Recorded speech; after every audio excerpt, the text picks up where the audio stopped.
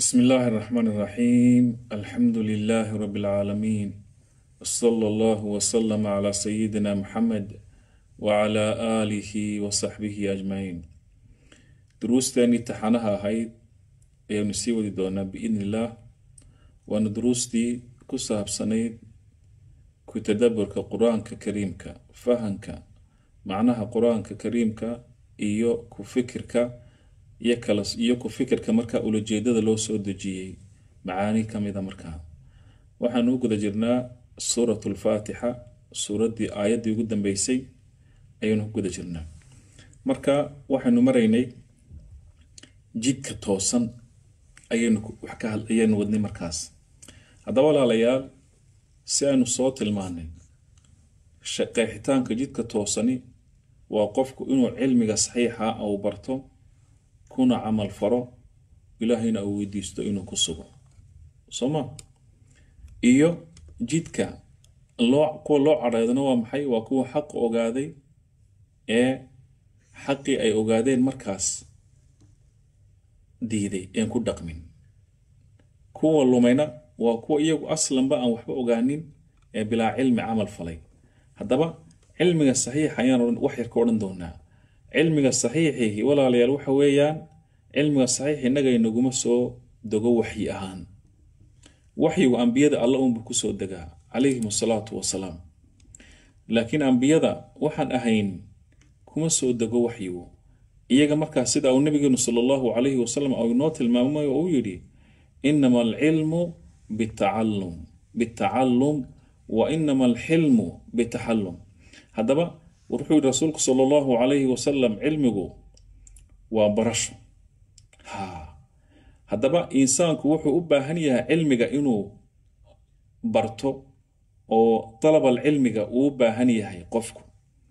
Inuu ku dadaalo ou geliyo ayaa loo baahan yahay juhdi fara badan markaa wa an yasiira calaa dalik iyo inuu noloshiisu ay sidaa noqoto markaa walaalayaal waxaynu ognahay cilmigu waxaa ku sugan mashaqo waxa weeyaan da-soo jeed fara badan. Inaad majliska timaado ood fadhiisato sabir ba u baahan tahay. Inaad duruustii soo raacad sabir ba u baahan tahay.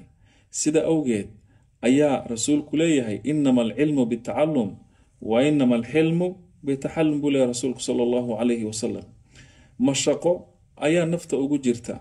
Haa waayo waa waxay u baahan tahay markaas waxayna naftu markaas ayna jeclayn oo markaa dhib ah. Idan waxaynanu ogsoonnahay walaalayaal biyaha haa meel sare isma taagaane hadday biyuhu soo rogmadaan ama meel godan ama meel hoose markaa ay ku dhacaan. Idan waxa qofku wuxuu u baahan yahay in markaa marka uu wax baranayo aw tawaadac uu la yimaado majaalista cilmiga inuu ku dadaalo waayo taasi waa meeshii lagu baranayay cilmiga markaas saxda ah.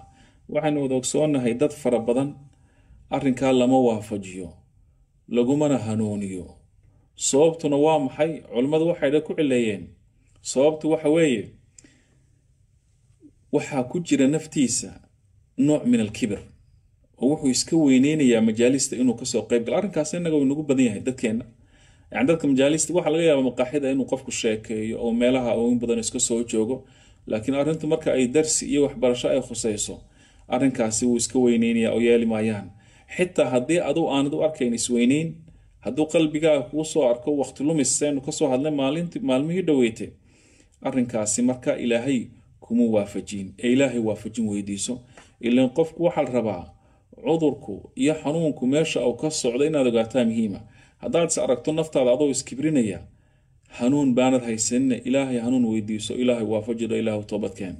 Sida awgeed hadduu qofku u arko in cilmiga barashadiisu uu ka mashquulinayo adduunyadiisii iyo shahawaadkiisii iyo waxyaalihii kale qofkaasi qof hanuun la siiya maha ilaahay subxaana wa tacala hanuun hala weydiiyo. Sidoo kale waxa suuragal ah yani cilmigu waktigii qofka uu raaxaysan lahaa iminka walaalahan casharada duubayoo kale way soo shaqeeyeen. Dadka xitaa culimadan duruusta akhriyaysa laga yaabaa inay soo shaqeeyeen. Marka walaalaheenna casharada duubaya oo kale shaqadii bay ka yimaadeen toos way u baahnaayeen inay nastaan oo seexdaan iyagoo sooman weliba.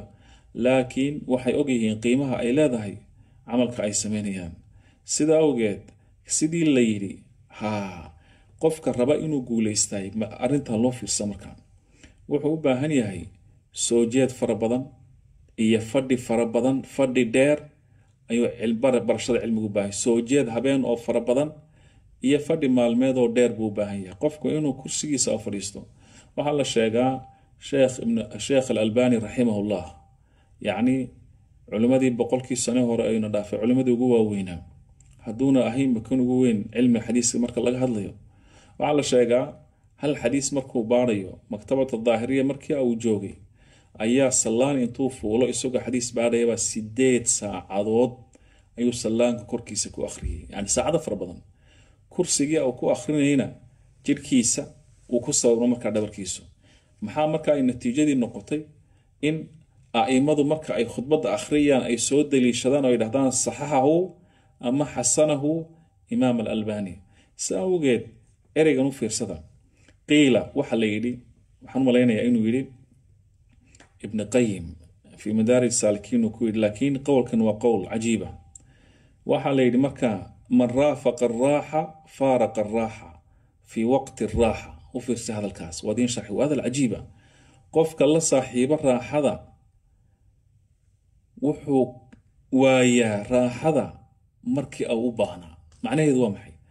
Marka aad dhallinyaro tahay eed awood leedahay eed sabri karayso eed soo jeedi karayso eed sawfa aad u samaysan inaad qofku waxa loo baahan yahay ou cilmiga barto uu dadaalo ou cibaadaadka au ku dadaalo ha si hadhow cilmigiisii au bartay marka au weynaado au u nasto markaa oo markaa maskaxdiisa marka ay u buuxsanto. Culimadu sidoo kale waxay dhahdaan qofka bilowgiisu au ahaa mid yacni adag oo waxa weeyaan dhib ah oo waxa weeyaan yani tusaale ahaan qof markuu ardayoo kale ama au masterta au diyaarinaya ama b a yani markuu ama jaamacad caadiya galmo jira au dhiganayo ama dugsi dhexe au dhiganayo waa dhib badan yahay iskuulka maalin walba inaad tagto macalinku wuxuu kuu soo diray maalin walba in laga shaqeeyo. Laakiin qofka bidaayadiisu ay fiicnaa u dhib a u noqoto gadaal buu markaa ka nastaa. Wadankeena aynu jeegno waxaynu wada aragnay iminka dad fara badan oo wadankan u dhashay min jadka jad oo markay yaraayeen jaamacada geli waaye. Markay waaweynaadeen haddii ay shaqadaasi jirto lagama eriyo way wadayaan. Laakiin shaqadii haddii ay dhammaato oo kale ama dad la eriyo dadka shaqada laga eryayo waa qofkii aan shahaado qaadin. Dib iyagoo marka markaas ay ka dadaalaan markaa laakiin qofku isagoo weyn buu haddana wax baran karaa. Macnaheedu in shahaadada halkan aan ma rabin laakiin ujeedadu waxay ahayd qofkii yaraantiisa dadaalaya hadhow waan fici doonaa. Idan walaalayaal cilmigu wuxuu u baahan yahay sabir. Si awgeed caruurteenna oo kale waxa fiican inaynu u yeelano dareen waxbarasho in lagula dadaalo diinta la baro qur'aanka la baro waxa weeyaan waxbarashada kale physicska iyo matiska iyo biologiga iyo yani ilmihii markuu yaryahay lagula dadaalo ayaa insha allahu tacaala la rabaa oo loo baahan yahay. Saasaa marka runtii muhiima. Idan haddaba arrinkaasi wuxuu tilmaamayaa mansilada uu leeyahay cilmiga saxiixiga. Haddana allah subxaanahu watacaala wuxuu yidhi ihdina asiraata almustaqiim siraata aladiina ancamta calayhim. Haddaba kuwa loo nicmeeyey haddaynu xagga luqada wax ka nidhaahnana. Ha culimmadu waxay dhahaan waa tasriix bacda ibhaam. Ilaahay wuxuu yidhi ihdina asiraata almustaqiim baan leenahay soo maha ilaahow nagu hanuuni jidka toosan. Kaasi waa si guud baa loo sheegay. Marka waxaa laga yaabaa qofka dhegaysanaya carabiga fahmaya ama qur'aanka macnihiisa fahmayaaye markuu qofka qaariga u akhriyo wuxuus odhanayaa ihdina asiraata almustaqiim imaamku markuu yidhaahdo ama adu aad tidhaahdo? Muxuu odhanayaa markaa maa huwa asiraata almustaqiim muxuu yahay jidka toosani. Haddana ilaahay subxaanahu watacaala tafaasiish iyo faahfaahintii ayuu la yimiday oo inoo sheegay oo tilmaamay oo ah siraata aladiina ancamta calayhim alaaya. Sida awgeed sababtuna waa maxay culimadu yidhahdeen waxa weeyaan bay yidhahdeen waa tashwiiqa nufuus ilaa macrifatihi dadka oo la jeclaysiinayo oo isjeclaysiin baa ku jirta inay ogaadaan jidka markaa iyo iyagoo loo diyaarinaya qalbigii in markaa au ducadani ku tadaburo ou dhuuxo markuu ilaahay subxaanahu watacaala au baraya marka qur'aanka dhexdiisa ama dabadiisa markaa haddaba subxaanahu watacaala wuxuu leeyahay markaas aayaddaas markaas sidaas ayay culimmadu idhahdeen sidoo kale waxay leeyihiin culimmadu waa ta'kiid wuxuu ta'kiid u yahay macnaha. Ha ayuu ta'kiidinayaa. Sidoo kale culimmadu waxay idhaahdeen wuxuu qarirayaa xaqiiqada ou sii xaqiijinaya xaqiiqada jidkan. Ha inuu yahay jidka kuwa loo nicmeeyey ay qaadeen. Sida awgeed walaalayaal iyo inuu markaas auna ahayn jidkani kuwa loo cadhoodee xaqa ogaadee diiday iyo kuwa lumaya iyagu cilmigii intayna ogaanin bilaa cilmi camal falay labadaasi midna maaha markaa maxaa markaa halkan la xaqiijiyey? Fahankii jidka markaa sida awgeed qofka dhegaysanayay ama qofka akhriyayay markuu laba jeer akhriyo uu markaa macnihiibaa ka dhaadhacaya markaa marka hore waa maxay? Ilaahay uu ijmaaliyey oo si guud buu u tilmaamay sifadiisa oo maxaa lagu tilmaamay? Jidkaasi inuu yahay jid toosan. Ihdina asiraata almustaqiim markaa tila markaa. Uma bacda dalika xiinamaa adaafahu ila almuncami calayhim.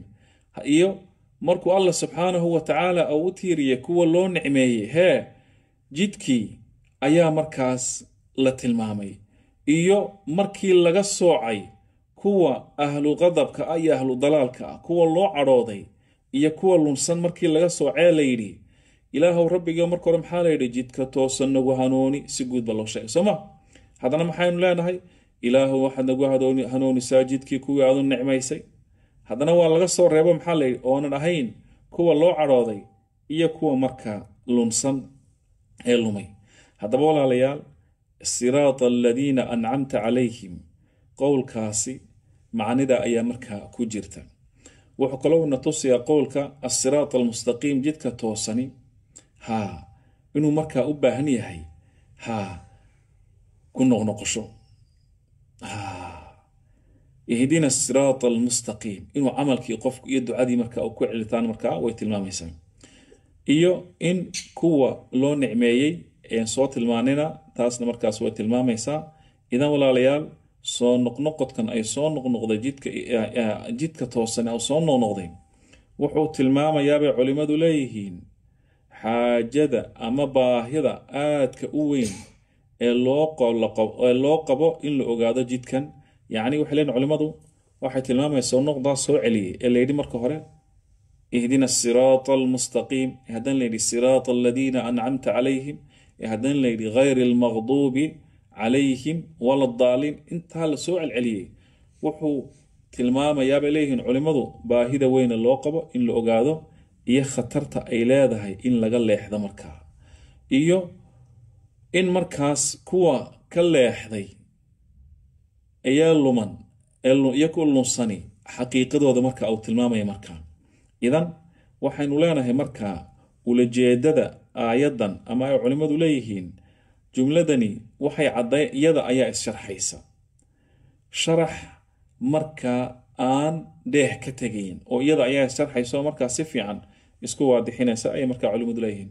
Sidoo kale walaalayaal jidkan toosan qiimaha uu leeyahay ayaynu ka faa'iidaysanaynaa iyo faa'iidada ku jirta markaa barashadiisa. Ina markaa qofka uu leeyahay falaax iyo liibaan iyo qofka ka leexdaayna inay khasaara markaa ku dhaxaysa. Ha qofka xaqiijiyaayey ee laasimaayey liibaan buu leeyahay walaalayaal. Qofka ka leexdaayna khasaare iyo hoog ayuu leeyahay. Ha oo waxa weeyaan jahal ayuu markaas ku sugan yahay. Sidoo kale walaalayaal u fiirsada waxay tilmaamaysaa siraata aladiina ancamta calayhim kuwa ilaahay uu hanuuniyey ha masaladan masale muhiima aada aan jecela dhegahinood raaricsiin waxaynu ka faaidaysanaa sidoo kale siraata aladiina ancamta calayhim ikhwat alkiraam. Waxaynu ka faa'idaysanaynaa in adugu aanad ahayn keligaa qofka jidka qaaday. Laakiin jidkan ay qaadeen dad ilaahay agtiisa mansilo weyn ku leh. Haa oo nebiyadii allah ah oo ah sidiiqiintii shuhadadii iyo saalixiintii. Sida awgeed maadaama marka aad ogaato inaad adigu ugu horreynin oo dad wanaagsan oo god for bilda kuwa oo tusaale fiican kuwii ay qaadeen. Haa muxuu marka aad dareemaysaa? Raaxo ayaad dareemaysaa. Waayo dad alla subxaana wa tacaala suuratu yuusuf wuxuu noogu tilmaamay dadka xaqa raacaay inay yar yihiin. Oo alle muxuu yidhi wamaa aktharu nnaasi walow xarasta bimu'miniin. Nebi maxamed baa lagu yihi nebi maxamedow haddaad sidaad doontaba haddaad ugu dadaasho dadka badankoodu xaqa ma qaadanayaan oo dad wax rumaynaya maaha haddaba waxaa muhiim ah sidoo kale inaynu ogaano allaa yadiiqa inuuna qalbigeennu cidhiidhiyoobin. Haa dariiqani kuwa ka leexday badidooda ama dariiqan kuwa ka leex kuwa raacay yaritaankoodu ama tiradoodu marka ay yar tahay. Waayo jidkan waxaa raacay yacni makhluuqaadkii ama basharkii oo ilaahay abuuray kuwii waaweynaa oy ka mid yihiin ambiyada alleh calayhim asalaatu wasalaam iyo wixii jidkooda raacay. Haa haddaba adigu ma tihid qofkii ugu horreeya jidkan raacay. Marka waxa fa yaxsulu bihi waxa markaa qofka qalbigiisa soo galaya min al inuu qofku markaa qalbigiisu uu qaboobo oo raaxaysto markaa waayo kuwaasi waa kuwa ilaahay au nicmeeyey. Haddaad jidkii wada haysato waad farxaysaa markaa ilaahay hadda markaas in macaanidaasi aynu qalbigeenna marka aynu akhriyayno aynu soo xaadirno ayaa walaalayaal loo baahan yahay. Waayo addoonku haada markuu camalka ou la imanayo ou dariiq qaadayo dad ayuu ku dayanayaa. Haddii lagu yidha calaa sabiil mithaal war jidkan aad hayso hebelow hee waxaa qaaday hortaa fulaan iyo fulaan hebel iyo hebel iyo hebel baa qaaday. Arrinkaa markuu maqlo qalbigaa kuu qoyaya. Yani maxaan ka wadaa yani meel walloon joogno iminka qofku muslimka haystaaye. Sida uu nabigeenu sala allahu calayhi wasalam ou inoo tilmaamay wuxuu yidhi waxaa imaan doonta uu rasuulku yidhi sala allahu calayhi wasalam zaman qofka haysta islaamkiisu ee islaam ku dhegan ou yahay qof dhamac gacanta saa ugu haysta. Dhamac daba oo ololaysa markaa. Waayo baatilkiibaa badan baatilkiibaa kormaray. Laakiin qur'aanku wuxuu ka tilmaamay oo yidhi fa ama zabadu fayadhabu jufaa'a wa ama maa yanfacu nnaasa waxa daadxoortu way socotaa. Laakiin marmar bay daadxoortu intay soo urursato la moodaa marka inay fara badan tahay. Uu tegi doonaa aakhritaankana ahlulxaqa ayaa caaqibada dambe iska leh. Haddaba walaalayaal masaladaas waa masalo muhiim ah. Yacni eeg xitaa qalbigiiba xanuunadii qalbiga iyo wixii bay marka.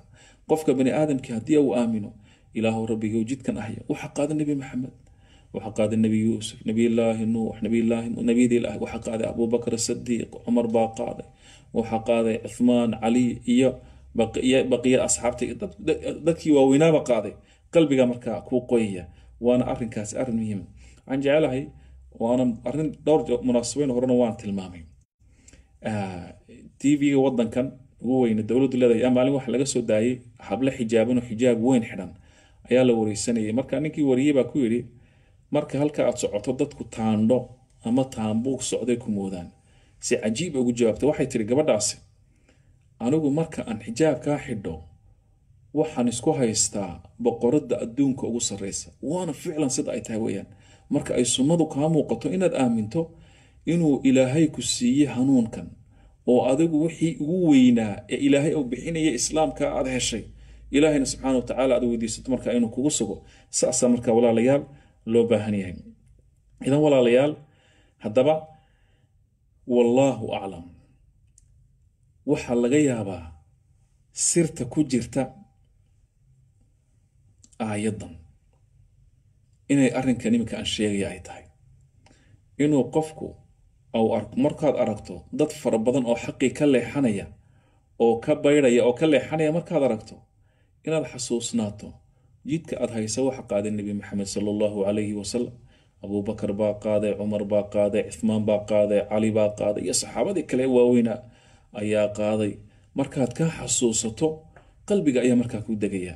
Sida awgeed waxaa laga yaabaa wallaahu aclam sirta au ilaahay ugu idaafeeye au yidhi aw jidkan siraata aladiina ancamta calayhim ee la yidhi ilaahu rabbigaan leenahay ilaahu rabbigee waxaan ku weydiisanaynaa inaad nagu hanuuniso jidkii ay mareen kuwii loogu adu nicmaysay adigu.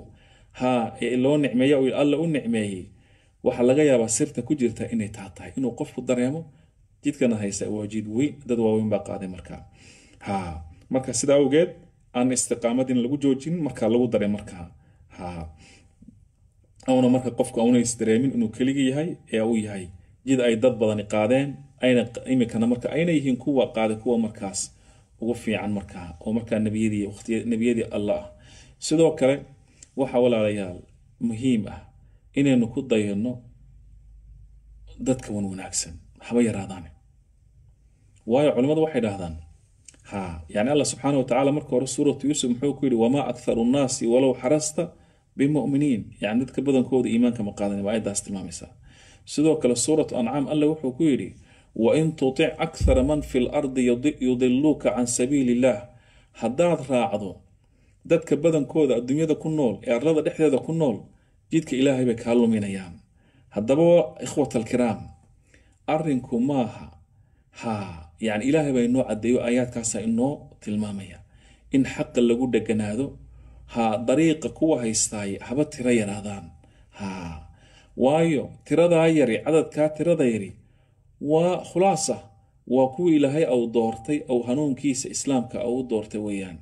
Waana kuwa uu ilaahay au u nicmeeyey tabaaraka allahu tabaaraka wa tacaala qaala allahu tacaala sidoo kale markaa wuxuu leeyahay markii ijmaalkii laga soo warramay ihdina siraata almustaqiim wuxuu yidhi siraata aladiina ancamta calayhim. Sidaa awgeed haddaba walaalayaal markii aynu aynu qaadnay jidkii toosnaa dadka badankooduna jidka toosan ay ka leexdeen ma dadku meeshay maraan baynu marnaa? Sidaa dadka qaarkood leeyihiin norway baa la joogaa shantaa milyan meeshii la marayaana xaggooda mar ayay noqoni. Mise waxay noqonaysaa in la raaco hadiga rasuulka sala allahu calayhi wasalam sida uu leeyahay alxaafid ibni qayim raximahullah wuxuu leeyahay ha yacni waxaa qalbiga uu ku degaa inaad ogaato dariiqa aad haysataay inuu qaaday nebi maxamed sala allahu calayhi wasalam sida awgeed jidkaasi waa jidka ay qaadeen ambiyadii alleh iyo sidiiqiintii iyo shuhadadii iyo saalixiintii. Ilaahayna qur'aanka muxuu yihi waxasuna ulaa'ika rafiiqa. Kuwaasuu ilaahay subxaanahu watacaala au u tiiriyey markaas jidkii toosnaa. Ilaahay baana ka raali noqday allana subxaanahu watacaala kuwaasi hanuunkiisa ayuu siiyey. Sida awgeed waxaa loo baahan yahay. Haddaba haddii kuwa jidka alle ka soo horjeeday acdaagu ay badan yihiin. Awoodna ay leeyihiin sida ay salafku odhan jireen inaad laasimto ayaa muhiim ah. Calayka biariiqi alxaq calayka biariiqi alxaq waxaa kugu waajib ah dariiqa xaqa inaad raacdo. Hana boholyoobin oo ha cidloonin dadka jidkan qaaday inay tireer yihiin. Ha kuwaasi jidka tirada kuwa jidka yar qaaday waa ahlulxaq kuwa faraha badanna iska jir buu leeyahy marka wa iyaaka wa dariiqa albaatil iska jir oo ka fogow dariiqa markaa lunsanaanta ee baatilka ah. Ha hana ku degtoomin badankooda marka ama dariiqan inta badan ee markaas la socda. Marka kalimaadkaasi runtii waa kalimaad lagu soo koobi karo. Yani haddaan afkeena soomaaliga aynu ku soo koobno qofka bini aadamkii xaqa inuu haystaa loo baahan yahay. Haddii toban qof aad tihiin oy sagaal baatil isku raacaan adigu xadhigga ilaahay un hayso ha daynin. Mararka qaarkoodoo kale oo dhacda war hebelow dadka ayaad dhinac ka noqotaaye maa dadka dhan ka raacdid. Dadka dhan ka soo raac. Dadka dhan ka soo raaco waxaa la rabaa xaq in lagu raaco. Hadday dadku raacaan oo ilaahay ka jeestaan lama yeelaya markaa. Ha marka marka salaas markaa masalo muhiim ah waxaa kaloo jira markaas marka inaan ku baraarugsanaano marka arrimahaas waxay dhammaan inoo faa'iideynayaan in allah subxaanahu wa tacaala aynu ku xidhanno ibnu qayim raximahullah ha dadkan jidkan raaca ha laba tusaale ayuu keenay. Laba tusaale markaa cajiib ah. Tusaalaha hore oo salaadii ayuu soo baxay. Isagoon doonayn oon uga soo bixin gurigiisa waxa salaad ahayn. Dariiqa markuu soo socdo ayaa waxaa la kulmay buu yidhi markaa shaydaan min shayaaiin al ins ka mida shayaadiinta insiga. Markaasaa wuxuu ku yidhi kalaam ka cadhaysiiyey oo dhibay markaa markaasaa ninkii salaada u socday ayaa u istaagay. Markaasuu u jawaabay oo way mormeen markaa wuxuu leeyahy markaa ibnuqayim raximahullah markay mormeen ama ay isqabseen ama ay dagaalameen kelimada ma gacanba. Waxaa laga yaabaa shaytaanka min shayaaiin alinsigu inuu ka awood badnaa oo ninkii marka uu ka guulaysto oo markaa u diido inuu masaajidkii gaari waayo. Wayna dhacdaa oo tegi maysid markaa ama waxaweyaan namur markaa uu gaadhsiiye markaa ilaa ay salaadii sidaa ku soo dhaafto. Waxaa kale oo suuragala buu leeyahy ibnulqayim raximahullah inuu ninku uu qofka salaada u socday kaa shaytaanka insiga uu ka xoog badnaa. Laakiin intii uu ku mashquulo oo kaga mashquulo markaa safka hore. Ha ama jamaacadiiba uu gaari waayo. Haddaba qofku masaladan aada loogu fiirsa waa hadal cajiiba weeyaan. Qofku waxaa la rabaa inuunay daymoonin. Haddaad u fiirso shaydaanka daymooto oo shaydaanka dib aad u fiiriso waxaa laga yaabaa in markaa go'aankaagii au dacfinimo marka uu ku dhaco markaa sida awgeed ha waxaa loo baahan yahay oo miithaalkaasi marka waa miithaal au tilmaamay. Wuxuu leeyahy marka ibnuqayim raximahullah sidoo kale uu sii wadaa haddaba haddii au kii fiicnaana waa kan. Haddii nin au ka soo baxo ama haweeneyba ay ka soo baxdo gurigeeda ama nin au ka soo baxo gurigii isagoo salaad maahay wax kale aanan doonayn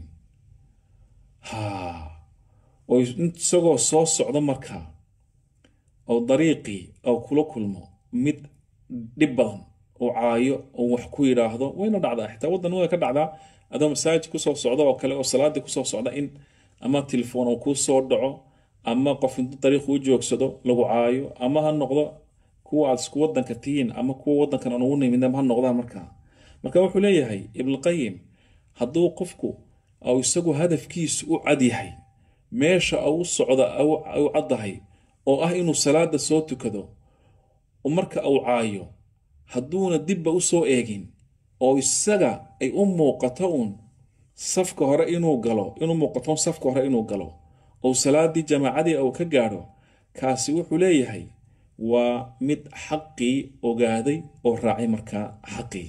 Sida awgeed ayaa kaana alimaam axmed raximahullah imaam axmed imaam aljaliil ha wuxuu wiilkiisa uga digi jiray dadka dariiqa jooga ee dhibta badan leh oo wuxuu ku odhan jiray wiilkaygiiyow dariiqa marka aad socoto waa laguu yeedhi wax dhib baa laguu geysan kaasi uu ku caayi dharkaagaa wax laga sheegi diintaadaa wax laga sheegi caqiidadaadaa wax laga sheegi. Waxaasoo dhan waxay rabaan isbiirhka aad ku socoto inay kaa dhimaane isbiirhka aad ku socoto sii siyaadso oo waxa weeyaan socodkaagii sii siyaadso ha daymoonin cuthmaan ibnu cafaanna radia allahu canhu waxaa laga soo wariyaa inuu yidhi haa waxay jeclaatay zaaniyaddu inay dumarka oo dhan wada sinaystaan.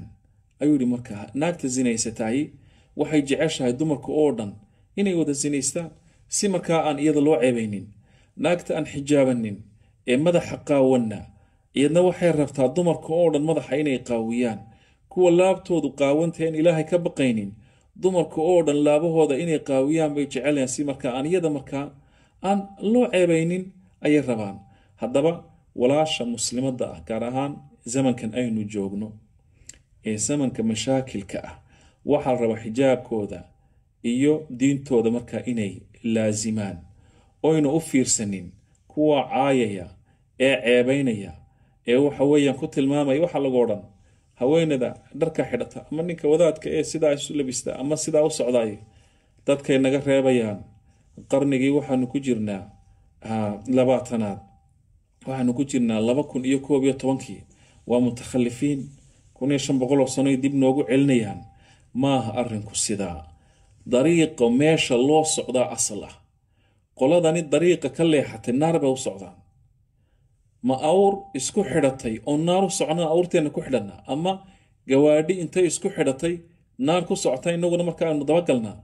May waxaa loo baahan yahay inaynu markaa ay xaqa aynu ahisanno ilaahay aan weydiisano inaynu markaa aynu ku sugnaano markaa haddaba allah subxaanahu wa tacaala dharka markuu ka hadlayay suuratu acraaf muxuu ku yidhi qad anzalnaa calaykum libaasan yuwaarii saw-aatikum wariisha walibaasu taqwaa dalika khayr walibaasu taqwaa dalika khayr walibaasu taqwaa dalika khayr ayuu yihi allah subxaanahu wa tacaala ilaahay wuxuu leeya waxaanu inii soo dejinay dhar aad cawradiina ku asturtiin iyo kuwaad isu qurxisaanba laakiin alla wuxuu leeyahay walibaasu taqwaa dalika khayr. Waxaasoo dhan waxa ka khayr badan libaasu taqwa. Walaalayaal ma laga yaaba axibatii fillah inuu qof intuu isqaawiya dariiqaa maro.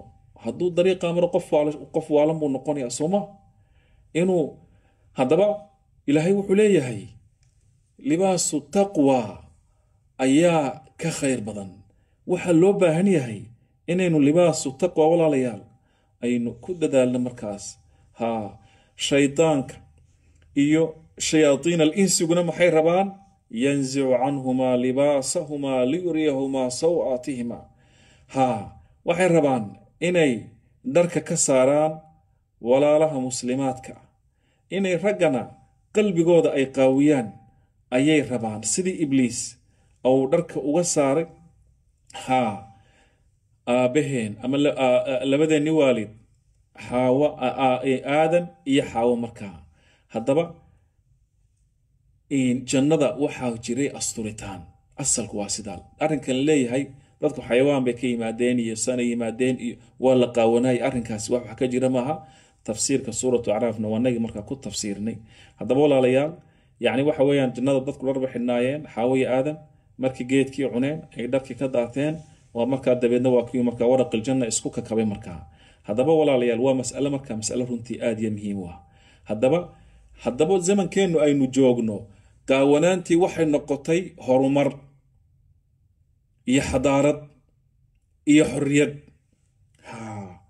Oo haweeneyda madaxa qaawisaaye ee isqaawisaaye xijaabka dhulka dhigataay. Haa ee xaqii ilaahay ka beedhaa waxay noqotay mar ah taqadumiya mid horumarsan oo xadaarad leh oo waxa weeyaan mutatawira ah oo horumarsan oo casriga la socota haa sida la leeyahay markaa. Laakiin waxaasi waa jahl. Qur'aanku wuxuu ku tilmaamay jaahilnimo. Fii suurati axzaab alle muxuu yidhi walaa tabarujna tabaruja aljaahiliyati aluulaa. In la isqaawiyo waa jahlnimo qur'aankaana inoogu tilmaamay ha qur'aanku wuxuu u tiiriyey qaawanaanta jaahilnimo ayuu u tiiriyey markaa ha taasaana markaas ku filan. Haweenaydii muslimadda ahayd ee xaqa qaadatayna ee waxa weeyaan caalimadda ahaydna jaahil ayaa markaa lagu tilmaamay. Haddaba walaalayaal masaa-ishaas waa masaa'il loo baahan yahay inaynu markaa aynu ku baraarugno ayaa markaas loo baahan yahay. Waxaa kale oo ay culimmadu tilmaamaan miithaal kale oo runtii aan jecelahay inaan kelmadeenna aan ku soo gabagabeeyo miithaalka oo markaa ay tilmaameen oo ah markaas dariiqa walaal inaynu ku dhegno aynu laasimno waxay tilmaamaysaa aynu weligeen marka aynan ka leexleexanin aynaan dhanka iyo dhanka aynu dayin inaan wax kale aanu hanqaltaagin miithaalkana insha allahu tacala aan ku soo gabagabaynaya culimmadu waxay idhaahdaan dabigu ama halgariga. Waa xayawaan dheereeya weeyaan. Ma elgi waxayna wadha xayawaanadan dheereeya marka. Ha uu ka dheereeyaa ayga. Laakiin aygu marka uu halgariga iyo waxaasi muxuu sameeyaan? Dhawaaqba u bixiyaan. Markuu u ciyo cidaa a u bixiyo waxay leeyihiin culimmadu bahalkan uu ka dheereeyaa haddii uu dheg u dhigi waayo waxaan raba inay cunaan ee waxa weeyaan codka bixinaya qayliya ciyaya weligii soo gaadhi maayo. Laakiin haddii au soo daymoodo oo soo fiirso waxa laga yaabaa sbiidkii au ku socday kow marka hore inuu dhimo. Waxa laga yaabaa quwadiisii inay daciifto go'aankiisii inuu hoosu dhaco waa lagu gaadhay au is yidhaahdo oo dabeedna markaa sidaa loo qabsado. Haddaba walaalayaal shaydaankuna waa sidaa. Waxbaa laguu qurxin hadal quruxsan baa lagu odhan wax fiican baa lagu odhan. Waxa weye iska yar khafiifi. Sidan kala yeel maxaa yeel? Guriga ku tuko. Warkani muxuu ahaa? Sidan kala yeel jamaacada lagaa joojin khayrka lagaa joojin. Haddaba sida uu imaam axmed raximahullah wiilkiisa uu ku yidhi adigu ha daymoonina dariiqa un soco. Wax ku caayaan waxay doonay ha ku idhaahdaan wadaadadana dib noo riday dib baa noo yeelay. Sidoo kale in marka saas loo baahaya culimadu sidoo kale tusaale ay ku soo qaadaan shaydaanku shaydaanku u waswaasiyaa dadka. Markuu ku waswaasiyo shaydaanku hee waxaa dhacaysa inuu ku yidhaahdo ha maanta dahaaro ma qabtid ha dee adoon dahaaro qabin haddana sideed. Salaadii u tukan qalbigaaga ayuu shaydaanku wuxuu ku tuurayaa. Marka hore waxa weeyaan wuxuu ku odhanayaa ma daahir qabtid. Salaadii ha tukanin. Ha hadhow baad maydhan. Hadhow baad xadaskii iska rafcini. Uu ku waswaasin markuu ku waswaasiyo ilaa la gaadho inuu salaadiiba ku dhaafiyo oo ku yidhaa hadhow baad isku dari waana mid dhacda markaa tusaale ahaan oo kale ama taxi haddaad wado ama aad bas wado ama aad wax wado oo kale adigoo joojin kara ama gaari wado waxa weeyaan halkaasaan ka gaadhsiin saasaan odhan tuurba tuur kale ayuu kuusii dhiibi khatar ayaa markaas lagu jiraa. Hadhow marka aad salaadaadii ka tagtana haa shaydaanku farxad iyo jees jees ayuu hortaada inagu ma arkayne au farxi doonaa haddaba shaydaanku si auna inoogu ciyaarin sida carruurta kubadda a ugu ciyaarto ayaa waxaa loo baahan yahay. Inaynu daymoonin inaynu daymoonin inaynu u fiirsanin. Ayaa loo baahan yahay. Haddaba walaalayaal aayaddani dawo ayay u tahay amraad alquluub. Walaalayaal aad bayna markaa muhiim u tahay. Qofka aayaddan macnaheeda fahmayey waxa weeyaan waxyaalaha u baahan maayo inuu kiniina qaato u baahan maayo inuu wax kala qaato laakiin aayaddan buu aqriyay ihdina siraata almustaqiim siraata aladiina ancamta calayhim gayri almaqduubi calayhim wala daliin wamaha akhri suuna ku tadabbur u fiirsa macnaha xambaarsan in maanta oo dhan markaa aynu ka soo hadlayna haddaba ulajeedada aayaddan ilaahay uu soo dejiya walaalayaal waa maxay? Waa in alla subxaanahu watacaala aw inoo naxariisto ha jidkana markaas aw ina barayo. Ducadeennana markaas ilaahay waxaynu weydiisanaynaa in ilaahay aw inaga dhigo kuwa marka hadalka maqle ee wax ku qaata ilaahay waxaan weydiisanaynaa kuwa dariiqa saxda ah iyo cilmiga saxdaa ah, barta kuna camal fala ilahay waxaan weydiisanaynaa inuu inagu sugo dariiqa saxda wasala allahu calaa nabiyina muxamed wacala aalihi wasaxbih